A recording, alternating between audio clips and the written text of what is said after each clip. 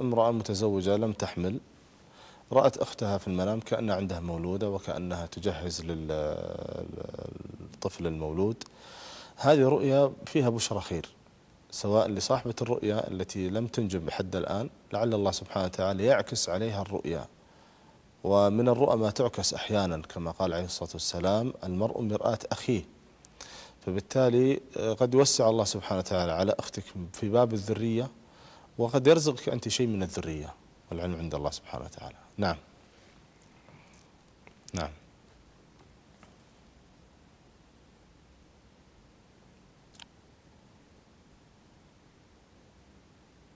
نعم هذا قرأناه قبل شوي اتصلت وقالت عنها أظن غيره. إيه. الحية السوداء آه، تدل على امرأة عدوة حاسدة وقد يدل على شيطان. فالنظر المتبادل الحذر.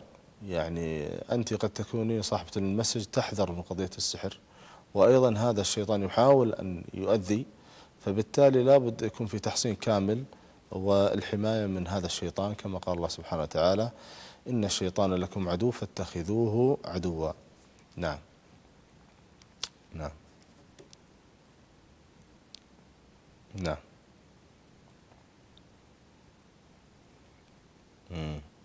طيب هذا رجل يقول رأى عمه المتوفي كأنه جلكم الله في في الحمام وعلى الغائط وحوله يعني شيء من النجاسات وحضنه ويبكي. والله ما أدري إيش وضع هذا الرجل العم يعني. وضع الميت في مكان غير طاهر فقد يكون إنسان هذا عليه حقوق يعني عليه ديون آه، عليه نذر آه، عنده شيء من المظالم. طيب فبالتالي اللي أقدر أقوله أن انظروا هل على هذا الرجل من حقوق؟ اغضوها عنه. طيب الشيء الثاني احتضان الميت والحي طولة عمر للحي لكن الميت إذا بكى معناته غير مرتاح في قبره. فاكثروا له من الدعوات الصالحة لعل الله سبحانه وتعالى يخفف عنه والعلم عند الله سبحانه وتعالى. نعم.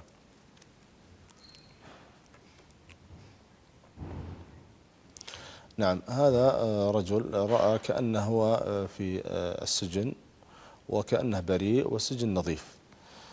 السجن والعياذ بالله في المنام يفسر بالهم كما قال الله سبحانه وتعالى يسجننه حتى حين.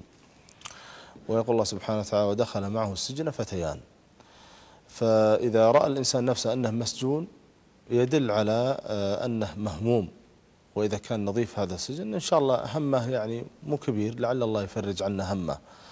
وأحيانا يفسر السجن في المنام آه، بالدنيا وبعده عن المعاصي والآثام. كما قال عليه الصلاة والسلام الدنيا سجن المؤمن والعلم عند الله سبحانه وتعالى. نعم. نعم.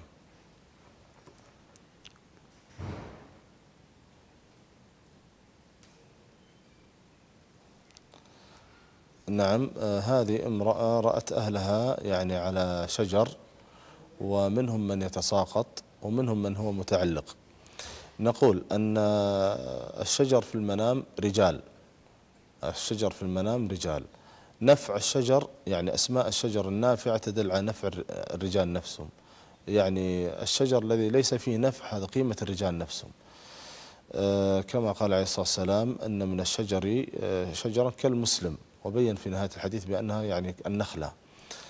فأهلك يتعلقون في هذا الأشجار ثم بعد سقطوا والذي سقطوا الذي يسقط في المنام وقع في مشكلة. قد تكون هذه مشاكل أسرية بين الأزواج وبين الزوجات. نسأل الله أن يصلح الأحوال. والعلم عند الله سبحانه وتعالى. نعم.